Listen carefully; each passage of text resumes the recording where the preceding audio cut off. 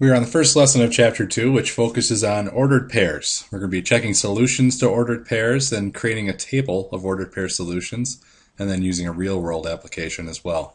Uh, just to before we begin, just so we're on the same page here, an ordered pair is a pair of numbers that can be used to locate a point on the coordinate plane. So the coordinate plane has an x-axis, which counts up and, and backwards for the x, and then a y-axis, which counts up for the y. And then the ordered pair listed as x, then y. So in this case, if we look at the x, this dot is on the x number line, it would be a 3, and then a y number line, it would be a 2. So this ordered pair would be listed as 3, 2. So for this first part, we have to determine whether each ordered pair that's listed here is a solution of y equals 3x plus 2. So we need to replace this 2, which is the x, with this x here, and then this 5, which is the y, with this y here. So if we're going to rewrite this problem, be 5 equals 3 times 2 plus 2.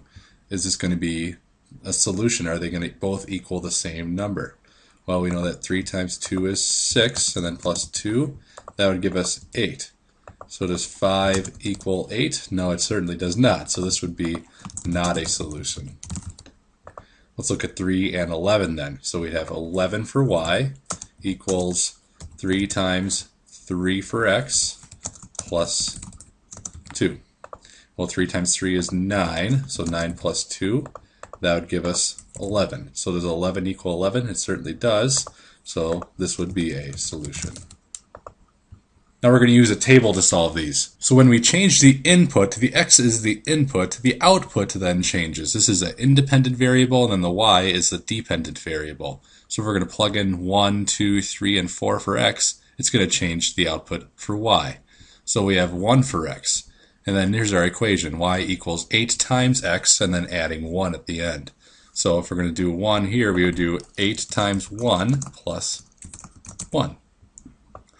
And then we would do, for y, 8 times 1 is 8, plus 1 is 9. So y would be 9. If we're going to write it as an ordered pair, it would be 1 for x, 9 for y. Let's look at this. 8x plus 1 for 2. So it would be 8 times 2 plus 1. 8 times 2 is 16, plus 1 is 17, so y is 17.